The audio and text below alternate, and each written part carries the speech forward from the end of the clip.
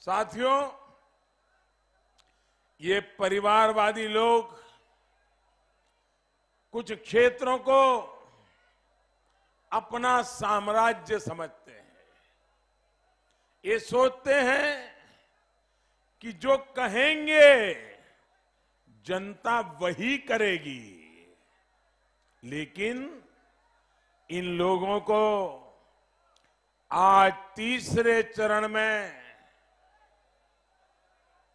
उत्साह के साथ मतदान कर रही उत्तर प्रदेश की जनता कह रही है, आएगी तो भाजपा ही, आएँगे तो योगी ही।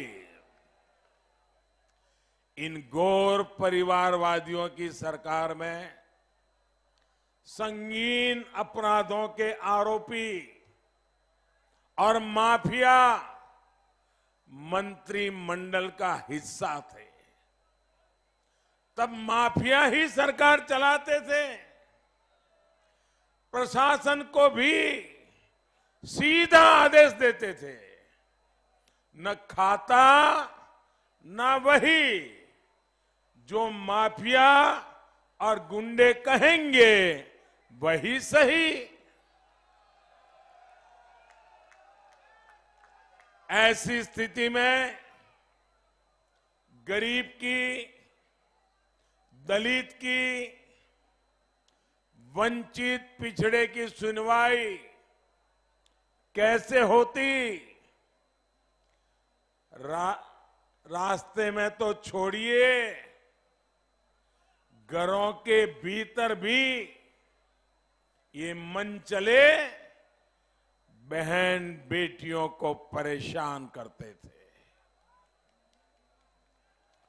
दंगा, कर्फ्यू, फिरौती, इससे व्यापारियों, कारोबारियों का जीवन, चौबीसों घंटे संकट में रहता था।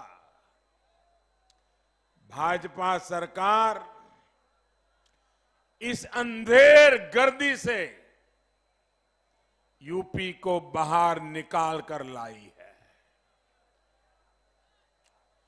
जिस यूपी की छवि इन लोगों ने ऐसी बना दी थी कि हाँ, कुछ बदल नहीं सकता, उस यूपी में योगी जी की सरकार ने कानून व्यवस्था को सुधार कर दिखाया है।